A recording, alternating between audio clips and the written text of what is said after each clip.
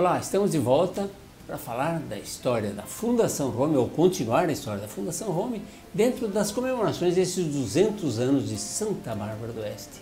A Fundação Rome sempre contribuiu e muito, e graças ao seu Álvares Rome, que tinha criado lá na empresa o arquivo histórico, aí ele, ele lançou a ideia, pelo menos.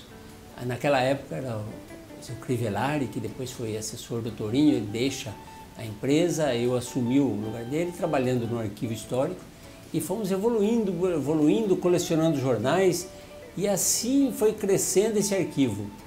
Em 85 eu fui transferido para a Fundação Rome, e aí o arquivo ficou meio que abandonado, meio parado na, na, na empresa. Senhor Álvares resolveu mandar o arquivo para a Fundação Rome.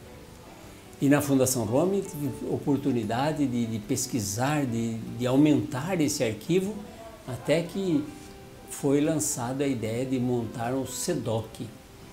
Graças a todo o esforço do Dr. Liu na época e aprovação do Conselho, o SEDOC foi também é, inaugurado. E o SEDOC tem uma preocupação como nenhuma cidade desse país. Com certeza posso dizer que tenha uma empresa que, que cuide de um arquivo histórico para com a preocupação de preservar a história da cidade.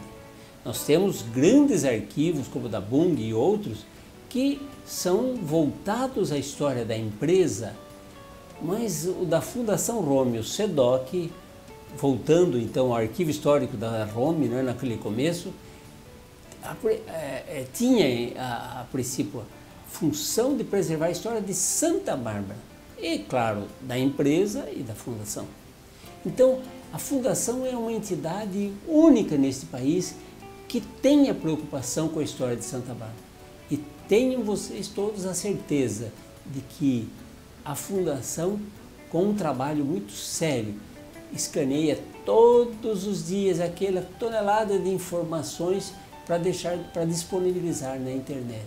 Nós temos os jornais desde o Barbarense, nós temos informações do Aurora de 1888, mas Barbarense de 1900 e o Trabalho e outros, todos os jornais, o Correio, a edição, o Jornal do Oeste, a Cidade de Santa Bárbara, que ainda faltam muitos, muito, uh, muitos jornais ainda para porque nós não temos acesso, mas para que a história de Santa Bárbara fique completa e toda resgatada. E todos que me ouvem podem colaborar. Se você tem uma foto antiga, empresta para a fundação só a imagem, porque nós devolvemos a foto. E nós vamos colecionando documentos, informações.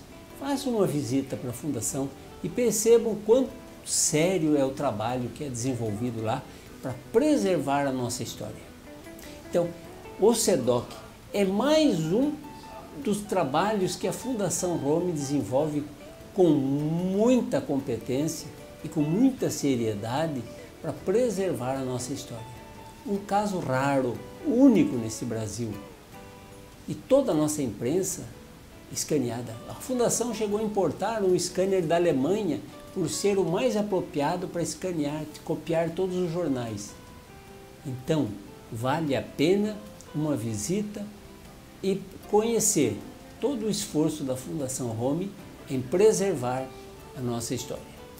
Em outro programa, eu falarei demais porque a Fundação Home cria também o NEI, o Núcleo, é, o Núcleo de Educação Integrada, que é o que virou a escola de hoje, mas voltando, o ITEI, Instituto Técnico de Eletrônica, que era uma parceria com o Estado, com a Escola Emílio Rome, que tinha o curso, mas a Fundação constrói o prédio e lá funcionou por muitos anos o, o, o curso técnico de eletrônica.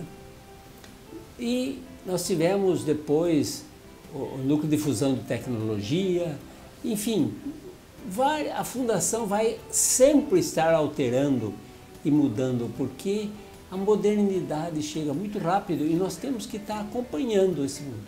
Então, nós estamos com a eletrônica, depois já não precisamos tanto de técnico, abertura de mercado, já vamos trocando. E assim está aí a Fundação Rome contribuindo com os 200 anos de nossa cidade. Até o próximo programa.